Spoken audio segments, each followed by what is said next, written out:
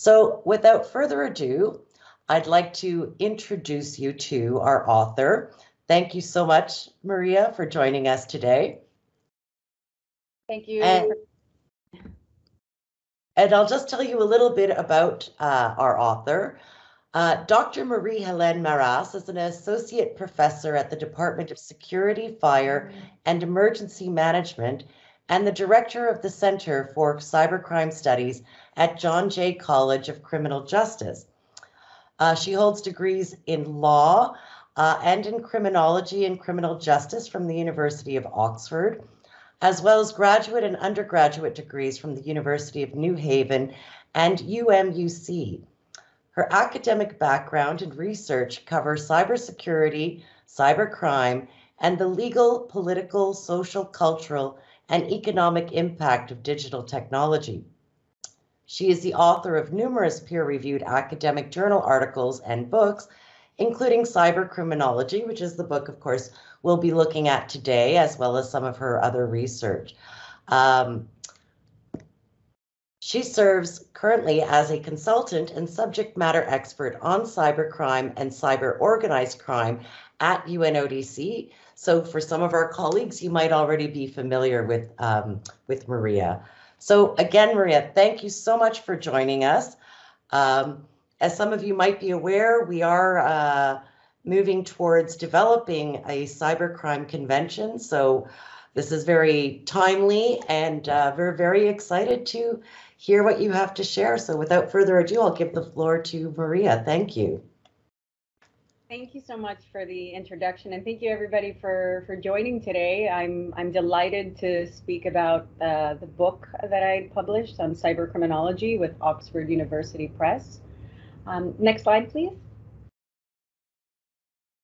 So today's presentation um, will cover my book, but I, I want to start first by talking about the my general research motivation, what inspires me uh, to publish within the in this particular topic and of course other related topics.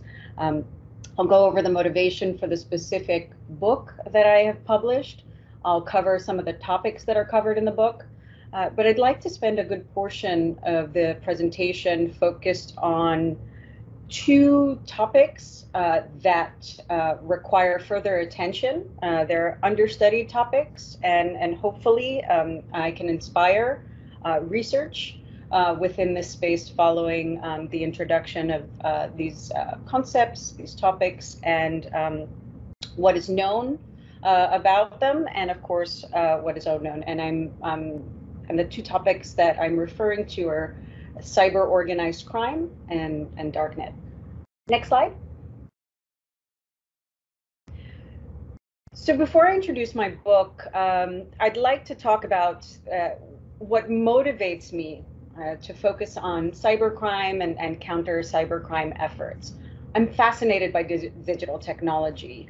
Uh, digital technology and the internet have really transformed the ways in which individuals communicate, the way they interact, form relationships, learn, even play, share information, move money, and conduct businesses individuals from anywhere in the world can, with the help of digital technology and the internet, reach and affect people around the globe. Cyber criminals have leveraged this technology to commit cyber dependent crimes, which are crimes that target the confidentiality, the integrity, and availability of systems, networks, and data, and to commit basically crimes that would not have been possible with the ad without the advent of technology. And of course, cyber enabled crimes, which are the traditional crimes that are facilitated by the internet and digital technology. The tactics, the targets, the tools, the methods of operation of these cyber criminals continuously to continuously evolve, really to adapt um, to the criminal justice and security measures that are implemented. Now, this evolution results in a reshaping of the cyber threat and cyber risk landscape. So, my research is really designed to help uh, an array of individuals, students, academics, criminal justice agents, practitioners, and policy policymakers really recognize this changing landscape and to help them really keep up pace with evolving cyber threats and risks. Next slide, please. So before I discuss my book, I think it's important to, to you know, define basically what, what cyber criminology is. Um, so when I use the term cyber criminology, I'm referring to the scientific study of cybercrime that tests the applicability of mainstream theories to cybercrimes that seek to shed light on the nature and extent of cybercrime, assess reactions to cybercrime and the implications of these reactions, and that evaluate the efficacy of existing methods that are used to control, mitigate, and even prevent cybercrime. So I published this book um, to really spark interest in the field of cybercriminology and to stimulate criminological thought and debate on cybercrime. With this book, I really wanted to draw attention to the lack of data and empirical studies in this field, to motivate educators to update curriculum, to include cyber criminology, and to increase research contributions in this field. Currently, there's a serious deficit in national counter cybercrime and cybersecurity capacity worldwide. In part for this reason, there, there is a need to advance knowledge in the field of cybercrime and cybersecurity and to enhance existing education programs in these areas. And one way this can be done is through the inclusion of cyber related material, such as the, the studies on cybercrime, in the curriculum of non STEM disciplines, meaning those outside of science, technology, engineering, and mathematics, such as social science and humanities. And really, the deficit in national capacity is particularly problematic given the fact that today few things personal and professional have been left untouched by uh, information and communication technology. The world's increasing reliance on information and communication technology has greatly expanded uh, vulnerabilities to cybercrime. And new technologies that continue to be developed increase vulnerabilities to cybercrime by creating more connection between devices, uh, which enable the transfer of data in real time anywhere in the world with an internet connection. Uh, the need to educate the workforce and the next generation of professionals is even more pressing because of this. My book is international in scope. Uh, it introduces readers to criminological theories, as I mentioned before, types of cyber crimes, and the nature and extent of cybercrime. And while the book's primary target audience are students at academic institutions, and it has practical exercises, case studies, and review questions for this reason. Uh, the book is really designed to appeal to a wider audience uh, because it critically explores cybercrime, theories of cybercrime, countermeasures, and their implications for a number of different fields, both uh, technological and non-technology uh, fields. Criminology, criminal justice, uh, law, computer science, psychology, sociology, and political science, to name a few uh, frankly, anyone that's interested in learning about cybercrime and causes of cybercrime and national and international responses to it can find food for thought in this work. Next slide, please. So the book um, overall, um, it explores really this complex subject of cybercriminology and looks at measurements, impacts, causes, and reactions to cyber cybercrimes as well as these significant theories and perspectives of criminology and how they relate to specific cybercrimes um, and the measures that are actually needed to control this uh, type of crime. The layout of the book is designed to introduce cybercrime and related concepts and the causes of cybercrime before the approaches to cybercrime, uh, meaning the countermeasures are considered. Um, and uh, there, the reason for laying the book out in this manner is to ensure that readers can critically examine responses to cybercrime um, while considering whether or not these responses are grounded in theory and are designed to deal with the cyber crimes targeted by, by these measures. Now, the book is broken down in three parts. Uh, the first part really is, serves as an introduction on cybercrime, different cybercrime concepts, and cybercriminology, and covers some key thematic concerns um, in the field of cybercriminology. Uh, one such key thematic concern is how to measure cybercrime. Um, and particularly um, in this part of the book, the methods and the instruments that are used to collect and analyze cybercrime data are explored. Now, this data is particularly essential um, to understanding not only the nature and extent of cybercrime, but also cyber offenders and, and, and cyber victims slash target patterns and trends. Um, this data not only sheds light on trends and patterns, but can also inform public policies and efforts to control, mitigate, and respond to, and even prevent cybercrime. Next slide, please. Uh, the second part of the book is devoted to discussing an array of theories in various fields and examining how they relate to specific cybercrimes. Now, the chapters listed on the slide really provide an in-depth analysis of the existing literature and empirical studies on cybercrime and identify gaps in literature and research.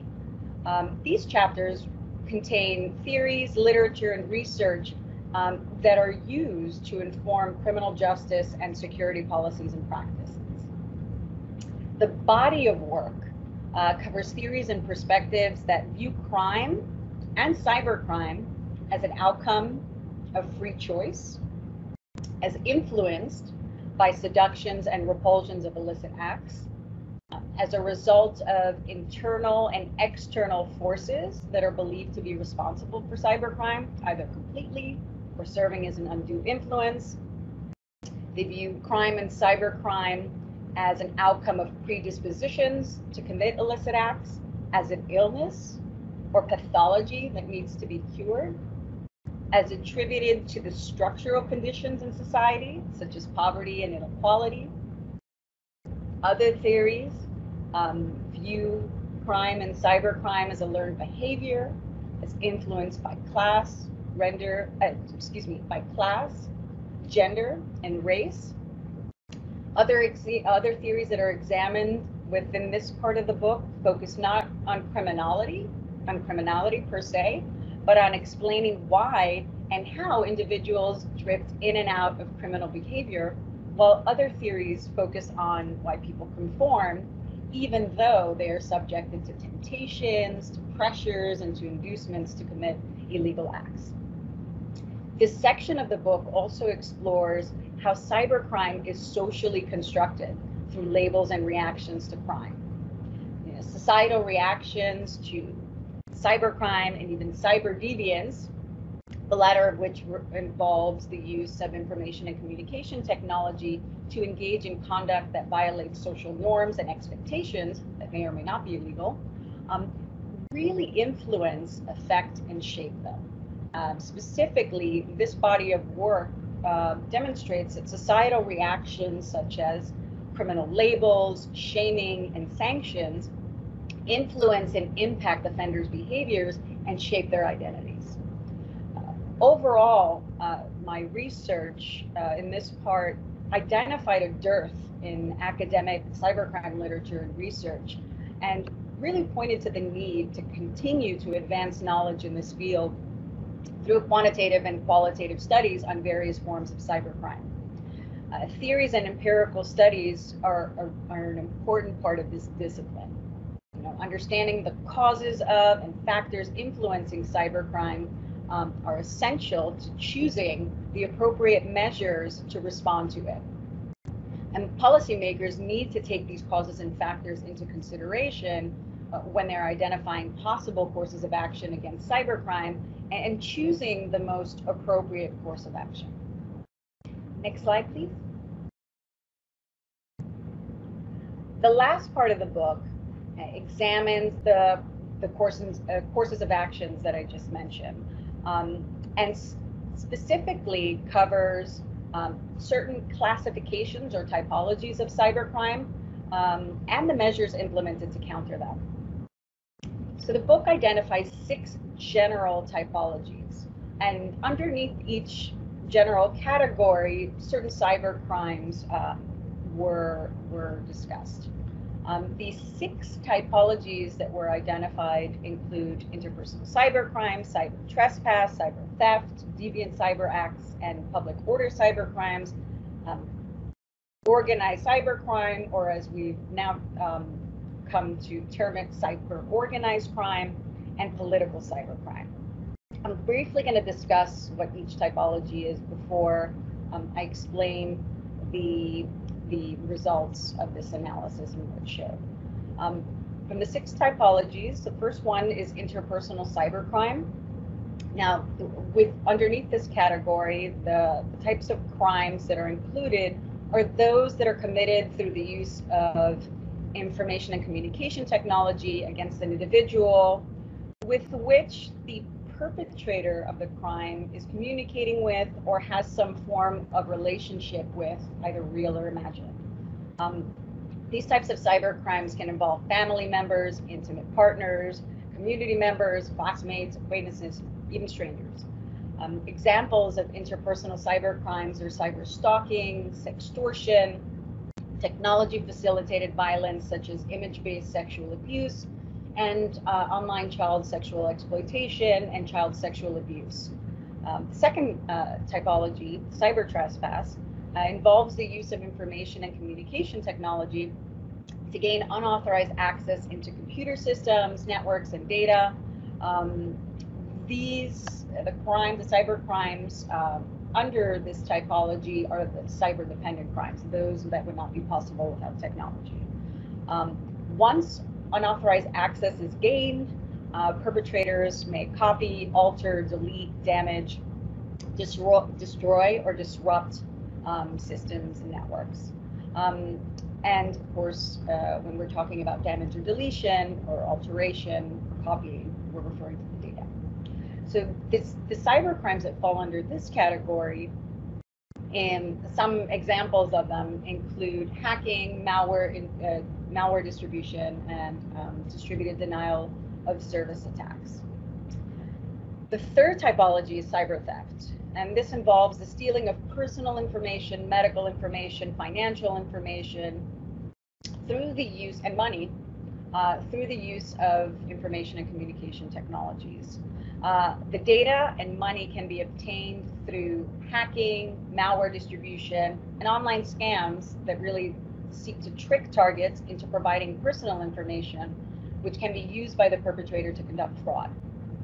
Other examples of cyber crimes in this category are phishing and intellectual uh, property crime.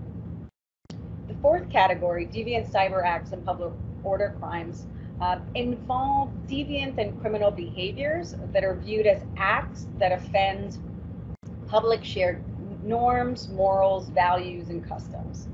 Uh, these acts are deemed immoral by certain jurisdictions because they violate accepted codes of conduct.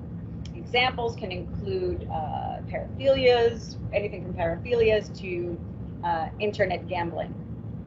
Views on the legality, though, of uh, these deviant cyber acts and public order crimes vary across jurisdictions. The fifth typology is political cybercrime. Uh, political cybercrime um, refers to cybercrime that's committed by individuals, groups, or nation states in furtherance of some political goal or agenda. Um, these types of criminals engage in hacking, malware distribution, uh, distributed denial of service attacks, among other cyber crimes, um, in order to cause some form of interference with systems. Uh, the targets, tactics, the modus operandi, the modus operandi, um, the motives, the uh, intent are all examined um, to determine what type of cyber threat um, it is. Um, sometimes the tactics, the targets, and, and even the, the method of operation of these particular um, uh, individuals or, or groups, uh, excuse me, uh, of these individuals or groups might be similar in nature. uh, what distinguishes these perpetrators is really motive and intent. So example of political cyber crimes can be hacktivism or cyber, cyber espionage. Uh, the sixth category, the sixth typology is organized cybercrime and cyber organized crime. Um, since I'm going to spend uh, a portion of the presentation talking about it, I will not discuss it here. What I want to say about this particular uh, part of the book, uh, particularly regarding the analysis of the typologies, um, is that my review of countermeasures uh, found uh, an array of, of measures that are implemented to deal with cybercrime from laws and policies, the enforcement of laws and policies, investigations and prosecutions, technological solutions, and um, primary and secondary prevention programs. Um, what was observed, however, were there that was that there were significant gaps in practices uh, across jurisdictions and even within jurisdictions. Um, for this reason, the this section of the book was dedicated to not only identifying these gaps, but also recommending ways to improve, improve existing practices and harmonize approaches across jurisdictions. Um, so I would like to talk a little bit more in the next part of this presentation on, on two topics, two particular topics of interest. Um, next slide, please. One of which is cyber organized crime. Uh, currently, there's no consensus uh, on a definition of cyber organized crime in the same manner as there's no consensus in the definition of organized crime. Um, despite uh, the lack of consensus, um, what I will I will I will use the definition that was recently provided by the case digest of cyber organized crime, um, the image of which is displayed uh, on this slide. Um, in order to ensure that there's a level of consistency uh, in terminology and use of terminology. Um, what we often find within the field of cyber criminology is that there are various terms that are used, and by using different terms, it diverts energy and focus away from the study of, of the particular cybercrime that we are describing. And of course, using different terms also undermines the efforts to measure the nature and extent of cybercrime. So using the term uh, cyber organized crime uh, and the definition, I will explain what it is, right? uh, using the, the same term and the definition that's provided by UNODC, um, you, it, it, the, the term cyber organized crime uh, refers to cybercrime committed uh, by an organized criminal group that involves an offense which criminalizes participation in an organized criminal group. Now, there are a few elements that I want to unpack here. Um, one is the cybercrime element. Um, for the particular crime to be considered a form of cyber organized crime, there must be a cyber element. So either a cyber dependent crime has to be committed or a cyber enabled crime. Uh, for the cyber crime that is being committed to, uh, to be considered this cyber organized crime, one of two elements need to be present. Uh, an organized criminal group or participation in an organized criminal group. The latter really involves offenses that are listed under Article 5 of the UN Convention Against Transnational Organized Crime. Uh, these include conspiracy and, and, criminal association. The former element, the, the organized criminal group, is defined uh, by Article 2A of the Convention um, as a structured group of three or more persons existing for a period of time and acting in concert with the aim of committing one or more serious crimes or offenses that are established in accordance with this convention in order to obtain directly or indirectly a financial or other material benefit. I would like to draw your attention to a few terms in the definition. The structured group um, that's mentioned in the definition really can apply to loosely affiliated groups without any formally defined roles for its members or develop structure. The period of time requirement that's included in this definition has been interpreted as any period of time. The term serious crime is not defined in the convention by criminal activity, but by the penalty instead. Um, the convention defines serious crime as conduct that constitutes a, an offense that's punishable uh, by a maximum deprivation of liberty of at least four years uh, or more serious penalty. Uh, the last requirement that I'd like to talk about in the definition of an organized uh, criminal group is the requirement that the illicit act be committed in order to obtain some form of financial or material benefit.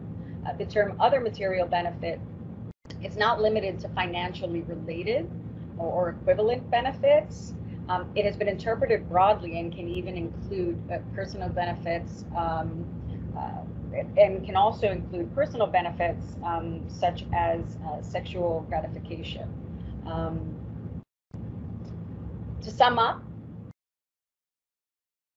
cyber organized crime is a cyber crime that's committed by an organized criminal group, uh, which involves an offense that criminalizes participation in the organized uh, criminal group. Next slide, please. Information, what do we know about uh, cyber organized crime? We know that information and community, uh, excuse me, information and communications technology has really transformed it. Uh, any, anywhere from the types of activities that are committed by um, groups that engage in cyber organized in, by organized cyber organized crime, the types of individuals who participate in organized crime, to the ways that groups are structured and organized uh, ranging from hierarchical structures with some form of centralization, division of labor, and identifiable leaders, to more transient or loosely affiliated decentralized networks. Uh, we know that cyber organized crime, uh, that individuals that engage in cyber organized crime leverage information and communication technology to illicitly obtain personal and financial information with the intention of committing some form of fraud or theft uh, they conduct intellectual property crime. They use malicious software with the intention of stealing information for later use to engage in a subsequent criminal activity uh, like extortion or identity theft. Um, they sell data. They hacking and malware products and services for a fee. Um, they engage in cyber and they engage in cyber enabled money laundering these types of groups um, also often operate under a crime as a service model. Um, and what is a what does that mean? It means that these groups offer a variety of services that facilitate virtually any cybercrime. Next slide, please. So some example of the services uh, that are provided by um, groups that by individuals by groups that engage in cyber organized crime uh, are the provision of stolen data, uh, malicious software toolkits and services to engage in attacks, hacking services, pay-per-install services, and infrastructure which cyber criminals can protect, um, can be can use to protect uh, illicit goods and services and launch cyber attacks. So stolen data is offered because it's a highly sought uh, sought after commodity online um, individuals that engage in cyber organized crime sell this data in mass. This data is bought and sold uh, online and on various sites. Um, the type of information that is sold includes personal data, financial data, health data, and online credentials, uh, banking credentials, or other online accounts, uh, account data like social networking sites, gaming, uh, gaming accounts, and so on. These individuals also offer malicious software toolkits and services. Um, particularly, they offer something known as malware as a service. Uh, those engaging in these service um, operate like a legitimate software developer and distributor with uh, troubleshooting services and customer care to enable users um, that utilize these, these illicit products uh, to use them more effectively and efficiently. Uh, individuals can purchase a wide variety of services for a fee. Some examples of this malware are crimeware and crypto ransomware. Uh, crimeware is really malware that's designed to facilitate a cybercrime and can be modified to users' needs with respect to language and currency.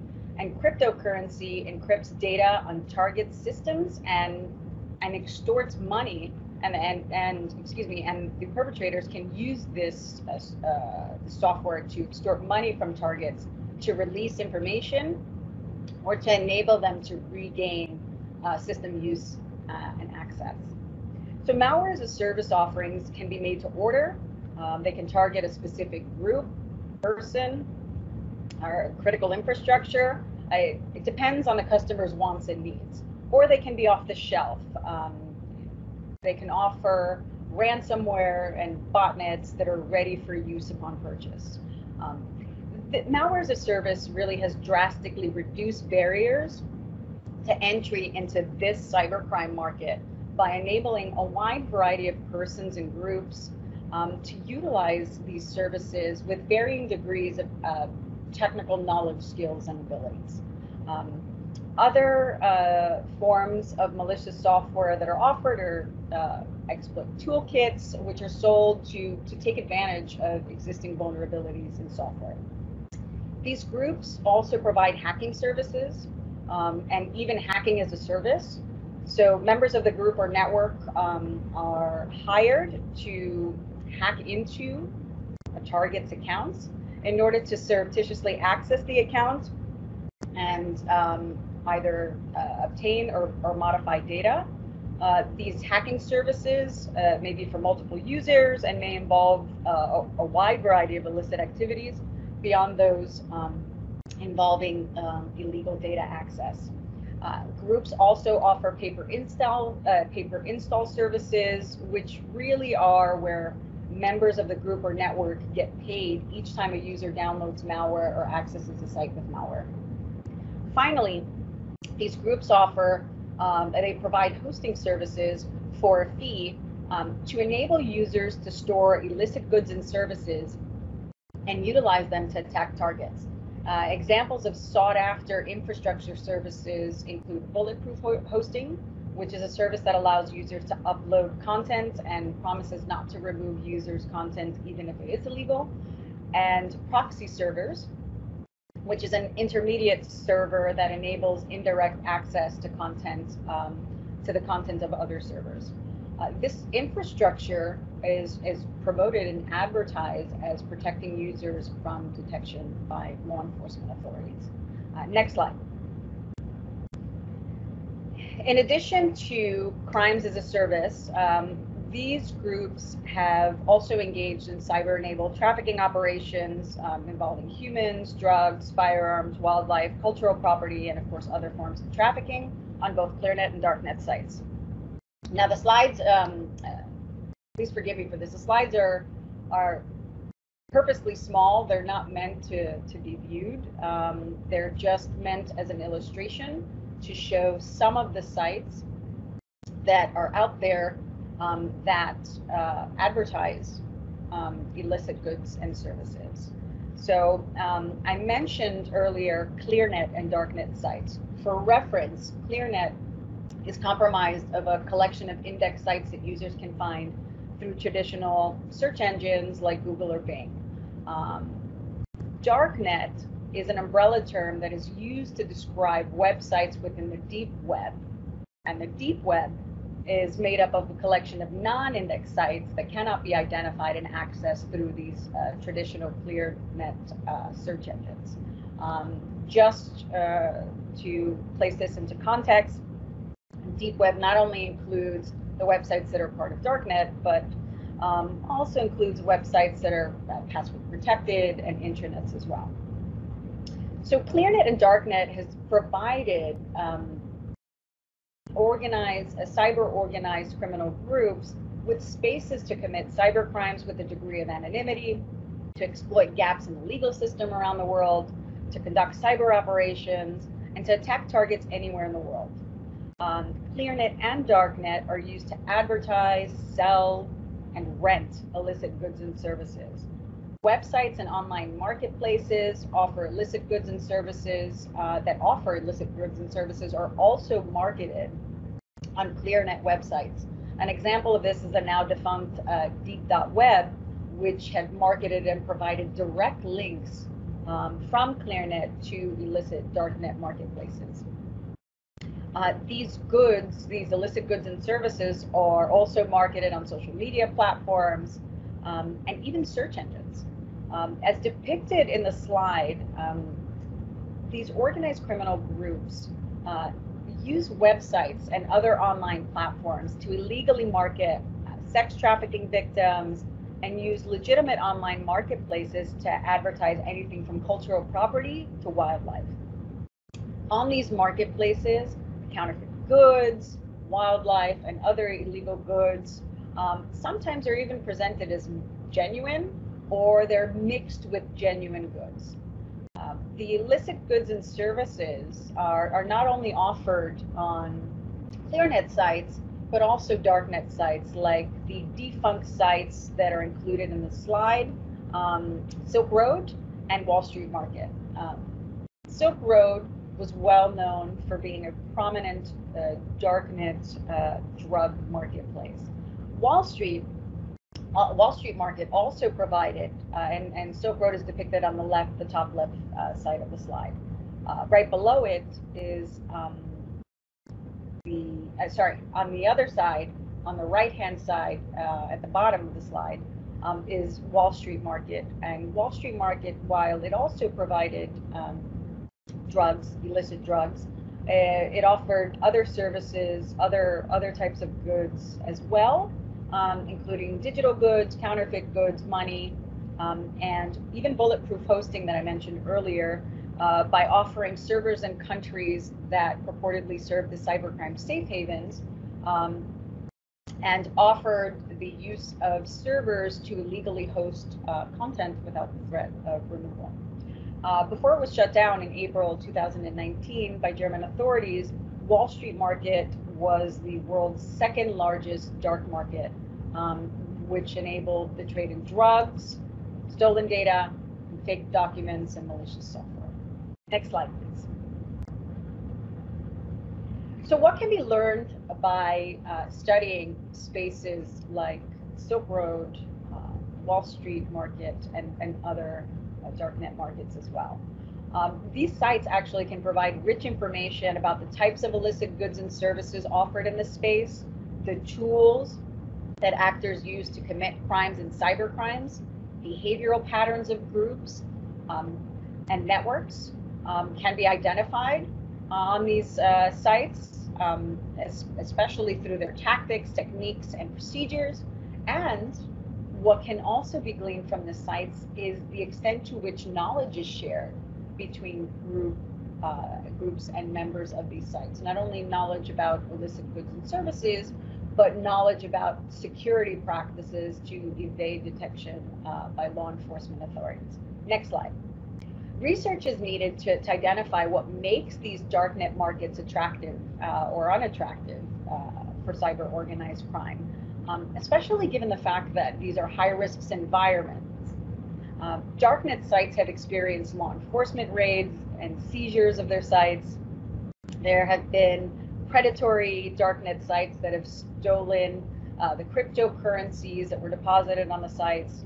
Um, these sites have experienced cyber attacks in the form of hacking to steal cryptocurrencies from vendors and buyers to distributed denial of service attacks to take these sites offline. Packages that have been mailed with illicit goods uh, are vulnerable to law enforcement detection and border security agency interception. Um, vendors have also been known to keep customer lists with addresses. Um, when these vendors were arrested, uh, case law revealed that the buyers of their products were revealed during those investigations of the vendors. And despite all of this, despite the theft, the cybercrime, the high risk of law enforcement attention and possible arrest, these darknet markets persist. Not on the same site that was taken down, but they start to rebuild and ultimately flourish on other sites. Uh, in fact, there has been an exponential growth of darknet markets since the takedown of Silk Road, not only in terms of the number of sites, but also the number of users and listings of illicit goods and services.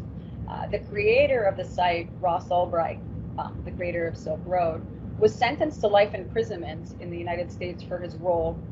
And other administrators of darknet sites and even vendors have received lengthy prison sentences. And even with these sentences and law enforcement takedown of Silk Road and other darknet markets, these markets and cyber organized crime activities within this space persist. And a, a very important research question is to identify the factors that account for this persistence and growth. Um, next slide, please. And, and overall, um, research, not only within the space of darknet, but also cyber organized crime, is, is piecemeal. And, and future research is needed. And in the space of cyber organized crime, to identify the organizations, the structures, the roles, the tactics, the targets, and the methods of operation of these groups, as well as the gender of leaders and group members, and the extent to which these groups operate online. Is it exclusive? Is it predominantly? Um, is it a mix of online and offline? Um, or is it predominantly offline? And these are factors that we need to further explore. Um, there is still much that is also unknown about darknet sites and the activities that occur within the space. Uh, most of the existing research focuses on sites that have been taken down. Silk Road, AlphaBay, um, and other darknet markets. Um, and they analyze data uh, that is obtained from other research projects and open source data about darknet sites and content, and they analyze content that is made available by researchers. New data is needed within this space. Um, darknet sites are in a constant state of flux. The types of goods and services, the demand, the supply, the interactions, um, and the identification of major players, the vendors on darknet sites, and the top uh, darknet sites at any moment uh, frequently change. Uh, the site themselves may not be up for long.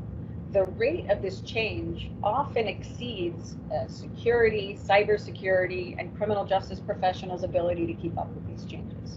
Uh, next slide, please. Research on darknet and cyber organized crime uh, can assist in the identification of cyber threats and vulnerabilities, the tools used to exploit uh, vulnerabilities, and novel ways in which information and communication technology are used to commit cyber organized crime, uh, which ultimately helps students, academics, criminal justice agents, practitioners, and policymakers keep pace with these evolving uh, cyber threats and cyber risks. Uh, thank you for your time. Uh, next slide, please. I will wait for your questions. Thank you. Thank you, Maria. I, I love the last slide, by the way. It's great. um, um, I, I, bought it from a CartoonStock. I think it's important to, invest in the intellectual property of others. But yes, it was an interesting and very pertinent slide. yes, exactly, exactly. I, I actually have a question. I mean, it's so slippery, as you were pointing out. Uh, managing or even following what's going on in the cybercrime world and especially on the the dark markets um, how do you feel countries are faring legislatively in terms of adapting to how to criminalize i mean i mean there are clear things if you're doing you know trafficking but there are new crimes that i think maybe we don't have the tools in place even in the sense of when it goes to court how do you prosecute it? And I was just wondering if you could tell us a bit, you know, from your experience, what the legislative landscape is, how it's evolving around cybercrime and how to deal with it. Um, no, great question. Thank you. Uh, so there are cybercrime substantive and procedural laws that have been implemented um, that relate to cybercrime in certain jurisdictions. Others have taken the approach of applying more traditional laws to interpret uh, cybercrime. Really, where the space that needs the greatest attention is It's not necessarily the creation of new laws, except in the jurisdictions that do not have these laws in place, but more so the harmonization of laws. Uh, because cybercrime rarely remains within what we would consider traditional borders within a jurisdiction. So this harmonization is extremely important because without this harmonization, um, international cooperation with this space is challenged, right? And most of, and many of the actual uh, cases that I described, especially within the space of, of darknet, involved international cooperation, which relied on the use of domestic uh, legislation and, of course, regional and international instruments that facilitated this cooperation. With respect to prosecution, there's another issue uh, that's at stake, and that's the, the need for cybercrime training amongst criminal justice professionals, not only in terms of cybercrime proper, broadly defined, but specifically drilling down and the topic that I decided to focus on in cyber organized crime. Um, the digest that was recently published by the United Nations Office on Drugs and Crime really highlights how difficult it is to pinpoint cyber organized crime within these cases and really the differentiation that existed between the, the manner in which these cases were dealt with and even the, the, the forms of punishment uh, that were uh, provided for these uh, cyber crimes. Thank you. Um, I'll open up the floor. People seem to be shy while you were talking to interrupt, but I'll give them a chance now. If you'd like to raise your hand or use the chat to ask any questions, please go ahead. Um, yeah, I just find the whole topic so fascinating and and the level of different types of crime. Um, like when you think about somebody immobilizing a hospital versus your common, you know, cyber stalking, which, you know, even boring Joe Blow might be guilty of, you know, um, finding out about an ex. So the, the variety of crimes covered under this umbrella are really so immense. Um, and yeah, I just find it such an incredible challenge to start breaking down, you know, how you want to deal. But when you start getting into the organized crime, and I think that's where you really see the you know what we've seen with the the hacking of hospitals and really debilitating sorts of crimes that um, ruin infrastructure. I think those are particularly terrifying. But and the interesting thing is you pinpointed uh, with the hacking of interest uh, of infrastructure, it's the same tools that are used, right? The same tools. Hacking, malware distribution. What really changes is motive, intent, and target, and that really lets us know what type of cybercrime we're dealing with, and of course, the seriousness of a, a particular act. Um, which is why focusing on behavior and understanding perpetrators is extremely important within this space, right? Not only the protection, the physical protection of infrastructure and cybersecurity measures that are implemented personnel, physical security, and cybersecurity, but also really understanding what motivates and drives offenders, right? Um, because focusing just on the practical applications is is not enough. We need to understand the driving forces behind them so we can appropriately uh, put forward the measures, the policies, and practices needed to deal um, with these types of threats. Absolutely. I have a question here from Jean-Luc. Go ahead, Jean-Luc. Thank you very much, and thank you very much for the interesting presentation. Um, so many interesting and fascinating aspects within cybercrime. Um, we do see that the international community is now heading for an international convention. I mean, what is your thinking on that one? I mean, what? How do you see that evolving? How uh, are the prospects? I mean, to have that coming out in a manner which you would prescribe as being useful? I think so. So one of the things that we're, it's definitely a step in the right direction. Um, in order to facilitate this harmonization, uh, in order to facilitate international cooperation, we need to harmonize our approaches.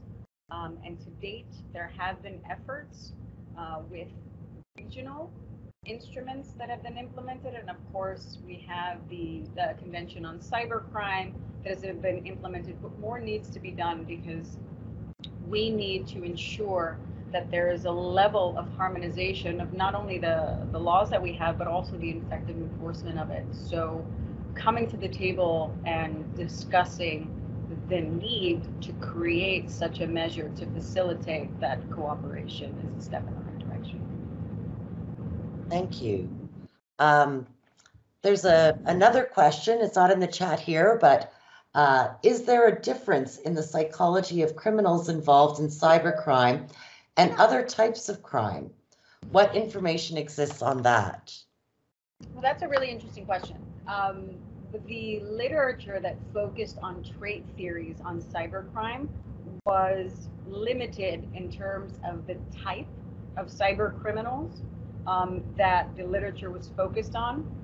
The studies that I was able to identify uh, predominantly focused on hacking and um, actually predominantly it was online uh, child sex offenders and then to a lesser extent hacking. Um, but there wasn't this larger body of work, which is why I identify that there's a, gap here, right, in terms of, of really identifying how trait theories apply to larger studies. There's also a body of work that has been applied to the notions of addiction with respect to technology. Um, and these are particularly interesting studies that have focused within the space of uh, obviously psychology and traditional addiction studies, gambling, substance abuse.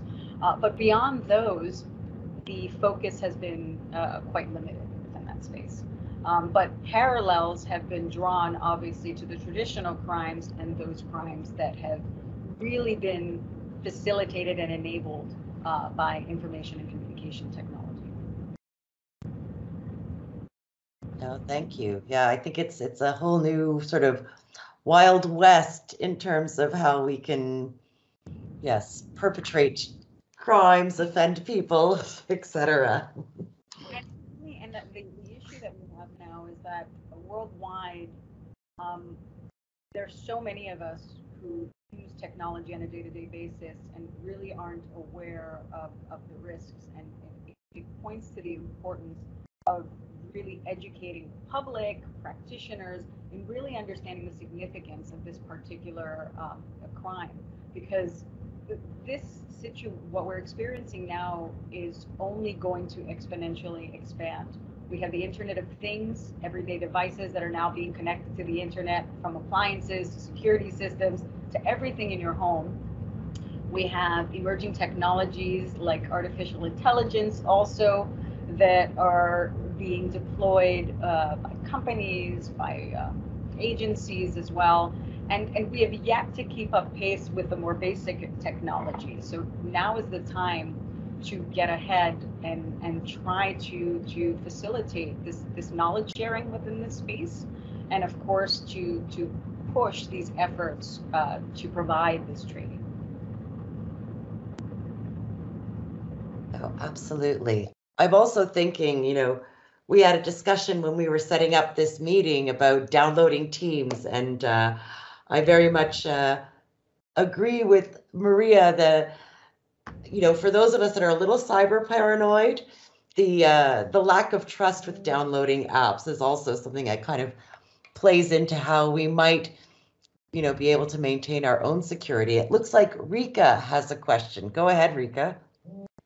Thanks very much. And thank you, Maria, for the great presentation. Uh, we continue tomorrow together. Um, I wanted to ask you, actually, um, since the negotiations of the Cybercrime Convention are now ongoing, what do you think should be covered in such a convention from an academic point of view?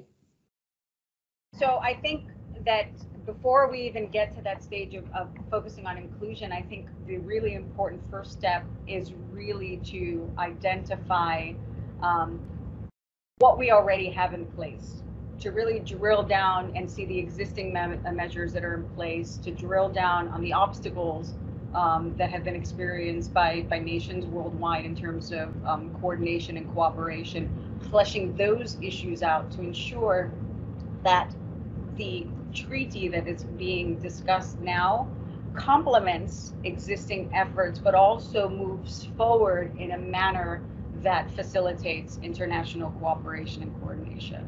Um, I feel that in order to, to be successful, taking that into account, as well as taking account um, what the literature tells us about factors, these driving factors, right, that exist for cybercrime, um, are extremely important, right? To develop a possible, uh, to develop a good course of action, what we need to do is first set the scene and really identify what the issue is, how pervasive it is, right? What are the factors that contribute to this to then determine how the treaty can actually assist in what we've identified. I hope this is, I hope this answers your question. Mentioned the apps, and I think uh, that's an important uh, issue that I, I, would like to discuss. Um, when we download these apps um, and provide information to the apps, our, our, phones, our technological device, any type of smart device that you have, is designed to uh, basically communicate information between apps. So usage and other type of data is shared amongst apps that you have within your own phone. So it's extremely phone or other uh, smart device. So it's extremely important to read the terms of service and, and understand the extent to which data is collected. Uh, many of the terms of services include third parties, which are really broad and can mean basically anybody in, in business operations. So uh, it's worth noting that um, creating more of a um, hesitant approach to adoption before checking, before, excuse me, downloading is extremely important. Oh, absolutely. Um, I think that's all we have. I think it's just Wendy that still has her hand up, but we can't hear her. So um, I'm sure if there are further questions. Oh, question came, came forward. Sorry. Ah, okay.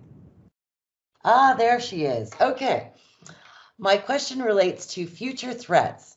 You did touch on the challenges and response uh, given the agility of those that engage in cybercrime, the challenges of harmonizing legislation, etc. You also spoke eloquently about international cooperation, research, are there other ways in which we can foresee future threats and respond in advance? Thank you, Wendy. Yeah, so I think, um, I mean, I can use an example of an area that we we can foresee future threats, and, and I mentioned it's the Internet of Things. Um, and uh, honestly, the way moving forward within this space is providing these minimum, not minimum, good uh, privacy and security protections within these devices um, and ensuring that uh, there's a level of accountability for um, technological devices that are um, basically deployed on the market that have these vulnerabilities in place. There have been efforts in, in, in countries, I know in, in the US, uh, there have been attempts to, to pass specific Internet of Things legislation really focused on just government adoption, but not thinking about the fact that in order to harm can be caused by by the average citizen adopting that same technology and um, threat actors using it. We've seen in the past that uh, there have been threat actors that have deployed distributed denial of service attacks on Internet of Things devices. So the printer, think about your home appliances, because those really are the devices that don't have the same level of protection as your computer might have. And of course, that access is gained to the, the device that is not as secure. Um, and these are things that we can start thinking about. Uh, ways to anticipate these types of threats, have preparedness plans in place. Um, really within the space of cybercrime, what we should, I mean, we should, ideally, we would like prevention. Realistically, what we can have is mitigation So as long as we continue these conversations, as long as we identify these risks, and as long as we have these plans in place to respond um, to these types of, threats when they materialize, we can stay at least in pace with the threats as they evolve. No, absolutely. And speaking of that, you think of some of the the possibilities with technology interfacing with health. So pacemakers, and that gets very, very terrifying. Yes, and um, and you mentioned that it's all we've already had pacemaker data introduced in a U.S. court as evidence of insurance and arson fraud, believe it or not. Um, so we've already started to see that even within medical devices, that data, that personal data, is already introduced in courts of law as evidence of crime. And of course, we haven't yet fleshed out what the limitations are to the use of this data and the circumstances where it can be used. So these are spaces that we need to be involved in Thank you so much, Maria. I've really enjoyed speaking and hearing you speak uh, today. And um, thank you to all of our guests who've joined us. We went a few minutes over time, uh, but I think it was really worth it. And uh, yes, we will uh, let people know when there's a recording available. And till next time, again, thank you. We've really been, a, it's been a treat for us. Thank you. Thank you. Thank you very much for having me. And thank you all for joining. Take care.